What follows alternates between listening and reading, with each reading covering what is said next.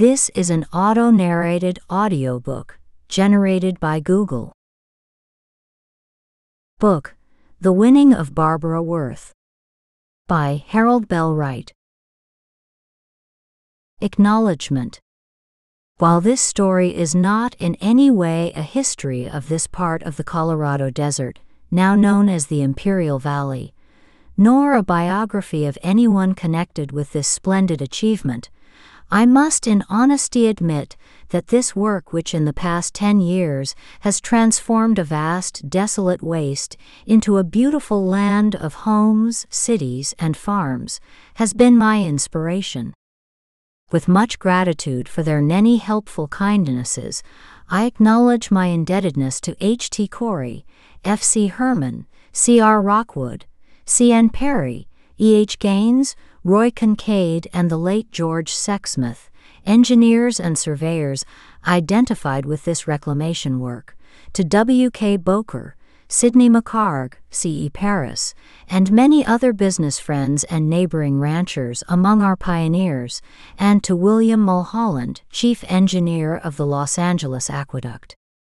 I am particularly indebted to C. K. Clark, assistant manager and chief engineer of the California Development Company, and to Alan Kelly, whose knowledge, insight, and observations as a journalist and as a student of reclamation in the Far West have been invaluable to me.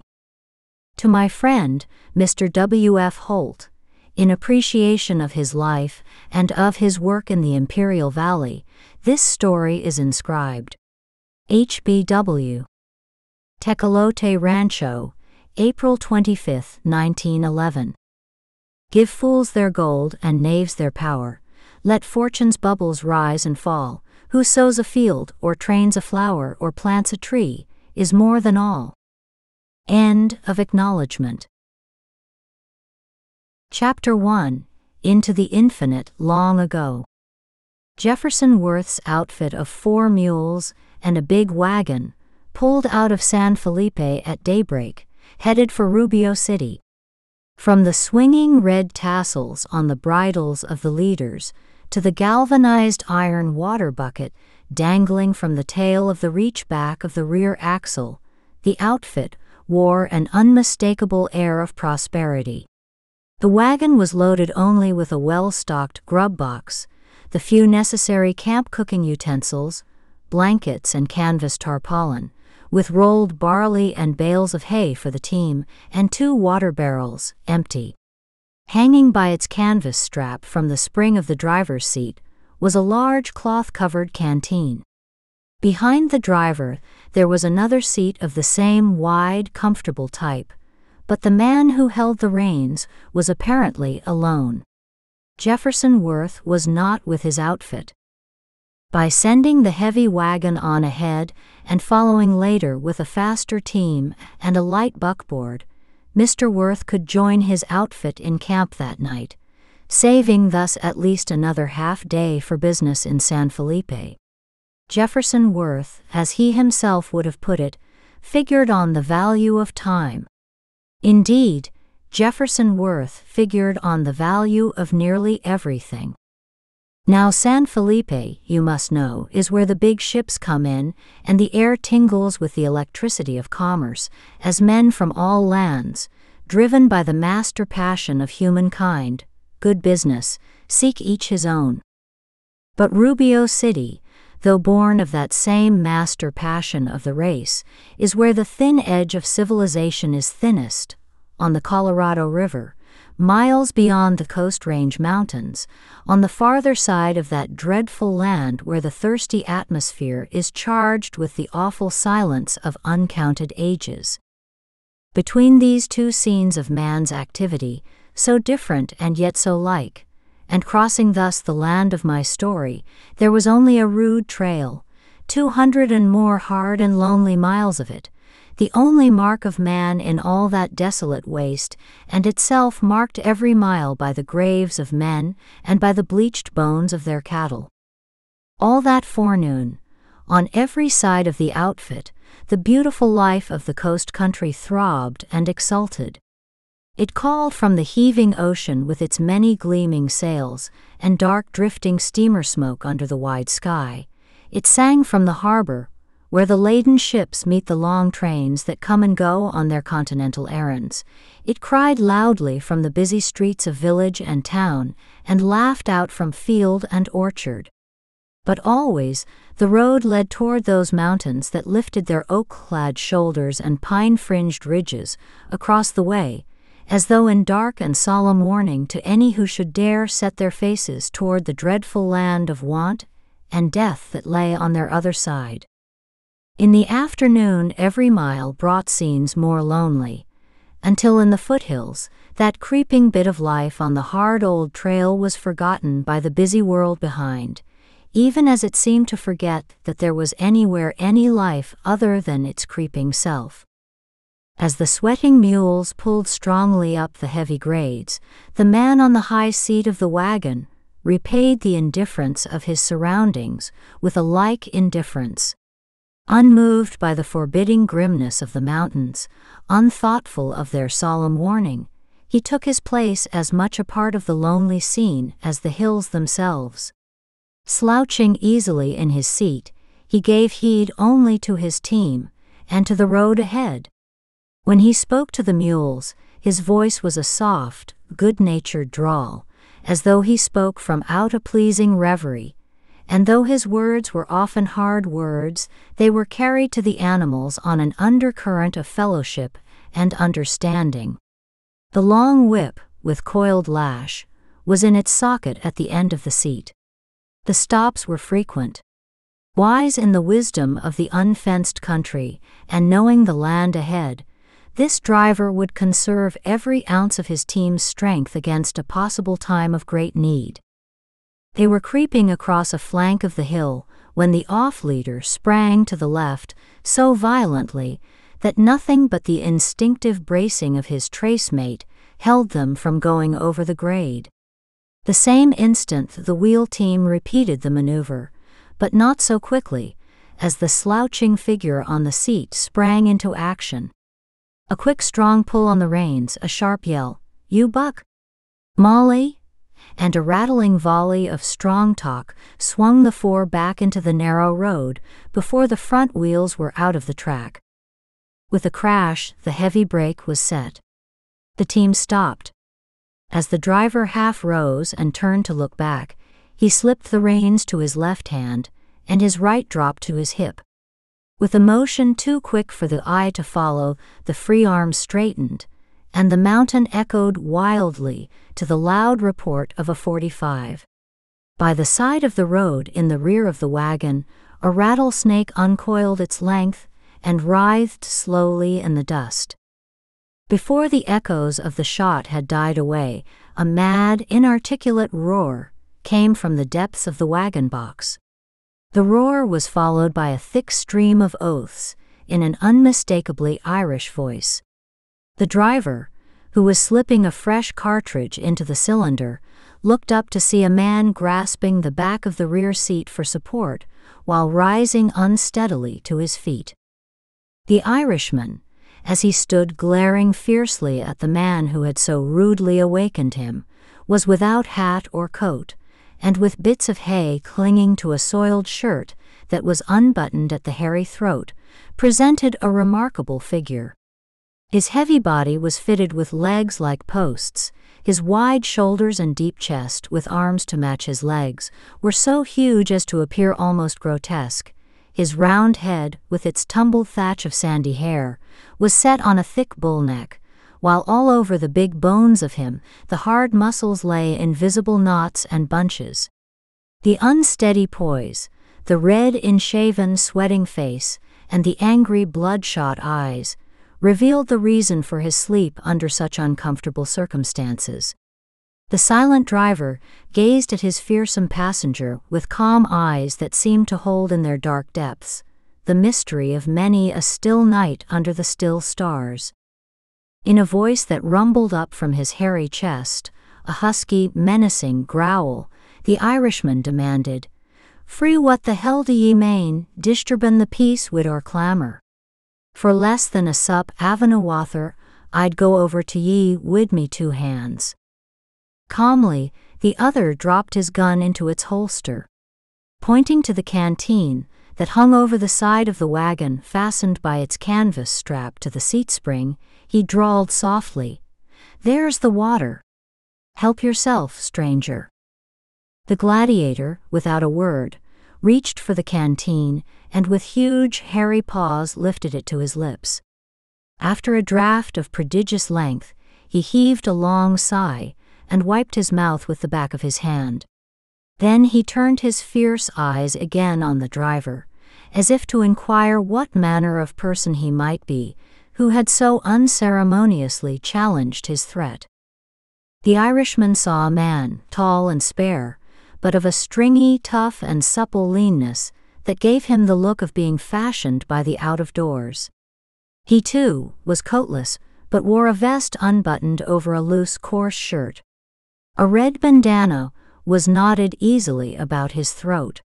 With his wide, high crowned hat, rough trousers tucked in long boots, laced leather wrist guards, and the loosely buckled cartridge belt with its long 45, his very dress expressed the easy freedom of the wild lands, while the dark, thin face, accented by jet black hair and a long, straight mustache, had the look of the wide, sunburned plains.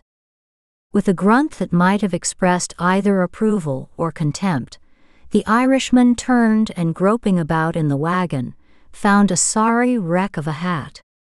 Again he stooped and this time, from between the bales of hay, lifted a coat, fit companion to the hat. Carefully, he felt through pocket after pocket. His search was rewarded by a short-stemmed clay pipe and the half of a match, nothing more. With an effort, he explored the pockets of his trousers. Then again he searched the coat, muttering to himself broken sentences, not the less expressive because incomplete. Where the divil? Now don't that bait? Well, I'll be. With a temper not improved by his loss, he threw down the garment in disgust and looked up angrily. The silent driver was holding toward him a sack of tobacco. The Irishman, with another grunt, crawled under the empty seat, and climbing heavily over the back of the seat in front, planted himself stolidly by the driver's side. Filling his pipe with care and deliberation, he returned the sack to its owner and struck the half match along one post like leg. Shielding the tiny flame with his hands before applying the light, he remarked thoughtfully, Ye are a danged reckless fool to be so disturbin' me honest slape by explodin' that cannon ye carry. 'Tis on me mind to discipline ye for sich outrageous conduct. The last word was followed by loud, smacking puffs as he started the fire in the pipe bowl under his nose. While the Irishman was again uttering his threat, the driver, with a skilful twist, rolled a cigarette, and, leaning forward just in the nick of time, he deliberately shared the half match with his blustering companion. In that instant, the blue eyes above the pipe looked straight into the black eyes above the cigarette, and a faint twinkle of approval met a serious glance of understanding. Gathering up his reins and sorting them carefully, the driver spoke to his team. You, Buck. Molly. Jack. Pete. The mules heaved ahead. Again, the silence of the world old hills was shattered by the rattling rumble of the heavy tired wagon and the ring and clatter of iron shod hoofs. Stolidly, the Irishman pulled at the short stemmed pipe, the wagon seat sagging heavily with his weight at every jolt of the wheels, while from under his tattered hat rim his fierce eyes looked out upon the wild landscape with occasional side glances at his silent, indifferent companion. Again, the team was halted for a rest on the heavy grade. Long and carefully, the Irishman looked about him, and then, turning suddenly upon the still silent driver, he gazed at him for a full minute before saying with elaborate mock formality, It may be, sore that bein' ye are sich a hell avenue a conversationalist, oot wouldn't tax our vocal powers band their strength Avenue I should be so bawd as to ax ye fwhat the divil place is this. The soft, slow drawl of the other answered, Sure. That there is no man's mountains ahead. No man's is oot, and oot looks that same. Where did ye say ye was thryin' to go? We're headed for Rubio City. This here is the old San Felipe Trail. Aha. So we're goin' to Rubio City, are we? For all I know, that may as well be nowhere at all. Well, well, oot's News Avenue in the rest to me. We are goin' to Rubio City. Oot may be that ye would explain sore, how I come to be here at all. Sure, Mike. You come in this here wagon from San Felipe. At the drawling answer, the hot blood flamed in the face of the short tempered Irishman, and the veins in his thick neck stood out as if they would burst. Me name's not Mike at all, but Patrick Mooney, he roared.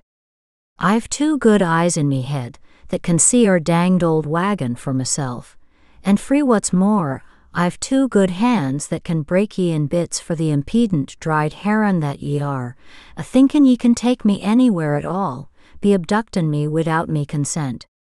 For a sup o' wather I'd go to ye. He turned quickly to look behind him, for the driver was calmly pointing toward the end of the seat. Free what is oot? Free what's there? he demanded. The water, drawled the dark faced man. I don't reckon you drunk it all the other time. Again, the big man lifted the canteen and drank long and deep. When he had wiped his mouth with the back of his hairy hand and had returned the canteen to its place, he faced his companion, his blue eyes twinkling with positive approval. Scratching his head meditatively, he said, and all because Avenue me wantin' to enjoy the blessin's and advantages Avenue civilization again after three long months in that danged Graden camp, as is the right Avenue ivory healthy man would his pay in his pocket. The teamster laughed softly. You was sure enjoyin' of it a plenty. The other looked at him with quickened interest. Ye was there, he asked. Some, was the laconic reply. The Irishman scratched his head again with a puzzled air. I disremember entire. Was there some throuble, maybe? The other grinned. Things was movin' a few. Patrick Mooney nodded his head. Aha, mostly they do under thim circumstances. Avenue course there'd be a policeman, or maybe two? Five, said the man with the lines gently. Five. Howly mither. I did myself proud. And did they have the wagon? Sure they would, five policemen niver walked. One avenue thim might, avenue oot was handy like, but five, niver. Tell me, man, who else was at the party? No, how old on a minute? He interrupted himself. Thim cops stimulate me memory a bit. Was there not a bunch Avenue sailormen from Wan Avenue Thim big ships? The driver nodded. The other, pleased with the success of his mental effort, continued, Ah, ha, and I was havin' a peaceful drink with them all when someone made impedent remarks touchin' me appearance, or ancestors, I disremember which. But where was you? Well, you see, explained the driver in his slow way, it was like this. That their saloon were plumb full of sailormen, all exceptin' you and me. I was a heap admirin' of the way you handled that big hombre, what opened the meetin', and also his two partners, who aimed to back his play. Hit was sure pretty work. The rest of the crowd sorto bunched in one end of the room, and when you began addressin' the congregation, so to speak, on the habits, character, customs, and breedin' of sailor men in general, and the present company in particular, I see right there that you was a bitten off more'n you could chaw. It wasn't no way reasonable that any human could handle that whole outfit with only just his bare hands, so I edged over your way, plumb edified by your remarks. And when the rush for the mourner's bench come, I unlimbered and headed the stampede pronto. Then, I made my little proposition. I told him that being the only individual on the premises not a sailor man, nor an Irishman, I felt it my duty to referee the obsequies, so to speak, and that odds of twenty to one, not to mention knives, was strictly again my convictions. Moreover, being the sole and only uninterested audience, I had rights. Then I offers to bet my pile, even money, that you could handle the whole bunch, talkin' 'em to at a throw. I knowed it were some odds, but I noticed that them three, what opened the meetin' was still under the influence. Also, I undertook to see that specifications was faithfully fulfilled. Mither Avenue God, FWHAT a sociable, broke in the Irishman. And me too drunk to remember rightly. Did they take or bet? Ye sunburned Lim Avenue the Divil, did they take oot? They sure did, drawled the driver. I had my gun on them all the time. Horror. And did I do oot? Tell me quick, did I do oot? Sure, I could, I see Avenue nothing happened. You laid your first pair on top of the three, then the police called the game and the bets were off. They pinched the house, they took you and me. Sure, Avenue course they would take us too. Tis them San Felipe police knows their duty. But how could they do oot? I forget details right here, being temporarily incapacitated by one o' them hittin' me with a club from behind. I woke up in a cell with you. The Irishman rubbed the back of his head. Come to think Avenue oot, I have a bit avenue a bump on me own noodle that tis like helps to explain the cell. But FWHAT in the divil's name brung us here in this god-forsaken nobody's place. Pass me another pipeful and tell me that avenue ye can. The driver passed over the tobacco sack and, stopping his team for another rest, rolled a cigarette for himself. That's easy, he said. This here is Jefferson Worth's outfit. He wanted me to start home this morning, so he got me off. I don't know how he done it. Mostly nobody knows how Jefferson Worth does things. There was a man with him who knowed you, and as I was some disinclined to leave you under the circumstances, Mr. Worth fixed it up for you too. Then we all jest throwed you in and fetched you along. Mr. Worth with the other man and his kid are comin' on in a buckboard. They'll catch up with us where we camp tonight. I don't mind sayin' that I plumb admired your spirit and action, and, sizzin' up that police bunch, I could see your talents would sure be wasted in that San Felipe country for some time to come. There'll be plenty of room in Rubio City for you, leastwise till you draw your pay again. If you don't like the accommodations you're gettin', I reckon you'd better make good your talk back there. And we'll see whether you takes this outfit back to San Felipe, or I takes her on to Rubio City. The Irishman spat emphatically over the wheel. And 'tis a gentleman wid proper instincts ye are, though, as a rule, I howled oot impolite to carry a gun. But after all, 'tis a matter avenue opinion, and I'm free to admit that there are occasions. Anyhow, ye handle oot wid grace and intelligence. And fists or sh ticks or knives or guns, that's the thing that marks the man. Tis not Patrick Mooney that'll fault a gentleman for ways that he can't help owen to his improper bringin' up. Avenue ye don't mind, Will ye tell me FWHAT they call ye? I'll not be so indelicate as to ax or name. Free what they call ye will be enough. The other laughed. My name is Joe Brannan. They call me Texas Joe, Tex for short. Good boy, Tex. Ye look the Divil Avenue a lot like a red heron, but that's not sich a bad fish, and ye have the right flavor. How could ye help oot? Brannon and Texas is handles to pull a man through hell wid. But tell me this, who is this man that says he knows me? Texas Joe shook his head and picking out his lines, called to his team. When they were under way again, he said, I didn't hear his name, but I judge from the talk that he is one o' them there civil engineers, and that he's headin' for Rubio City to build the railroad that's goin' through to the coast. Mr. Worth told me that there would be another man and a kid to go back with us, but I know that Mr. Worth hadn't never seen them before himself. Pat shifted his heavy bulk to face the driver, and removing his pipe from his mouth, asked with deliberation, And do ye mean to tell me that this place we're goin' to is on the new line Avenue the Southwestern and Continental? Sure. They're buildin' into Rubio City from the east now. The Irishman became excited. And this man that knows me, this engineer, is he a fine, big, upstandin' man wid brown eyes and the look of a new a king?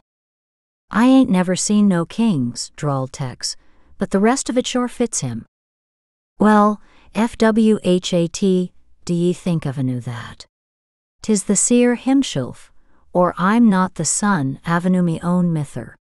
I was hearin' in Frisco, where I went the last time I drawed me pay, that he was like to be on the S and C extension. 'Twas that that took me to San Felipe, bein' wishful to get a job wid him again. Well, well, and to think oots the seer himself. What's that you call him? The seer. I disremember his other name, but he's got one all straight and proper. He's that kind. They call him the seer, because Avenue his talk Avenue the great things that will be doin' in this country, Avenue no rain at all, when ignorant savages like yourself learn how to use the water that's in the rivers for irrigation. I've heard him say myself that hundreds avenue thousands avenue acres avenue these big deserts will be turned into farms, and all that be what he calls reclamation. 'Twas for that some danged yellow-legged surveyor give him the name, and oot stuck. But most avenue the engineers, the rail engineers, do ye mind, is wid him, though they do be jokin' him the divil avenue a lot about what they calls his visions. He didn't look like he was locoed, said Texas Joe thoughtfully, but he's sure some off on that there desert proposition, as you'll see before we lands in Rubio. I dunno. I've seen some queer things in me time in the way avenue big jobs that nobody thought could be done at all but lave oot go. Tis not the likes of an me and you that's qualified to give judgment on sich geniuses as the seer, who, I heard tell, has the right to put more big man in letters after his name than ye have teeth in her head. All the same, it ain't the brand on a horse that makes him travel. A man'll sure need somethin' more hefty than letters after his name when he goes up against the desert. Well, lave oot go at that. Wait till ye know him. But free what's this or tellin' me about a kid? The seer has no family at all, but himself and his job. Texas grinned. Maybe not, pard, but he's sure got together part of a family this trip. Is oot a girl or a boy? Boy, about a ten year old, I'd say. The Irishman shook his head, doubtfully. I dunno. Tis a queer thing for the seer. Avenue it was me or you now, but the seer. It's danged queer. But tell me, free what's this man, or boss? Tis a good healthy pull he must have to be separatin' us from Thim San Felipe police. Texas Joe deliberated so long before answering this that Pat glanced at him uneasily several times. At last the driver drawled, You're right there, Jefferson Worth sure has some pull. Pat grunted. But FWHAT does he do? Do? Tex swung his team around a spur of the mountain, where the trail leads along the side of a canyon to its head. Far below, they heard the tumbling roar of a stream in its rocky course. Sure, the man must do something. As near as I can make out, Jefferson Worth does everybody. Oh ho. We hope you enjoyed this preview. To continue listening to this audiobook on Google Play Books, use the link in the video description.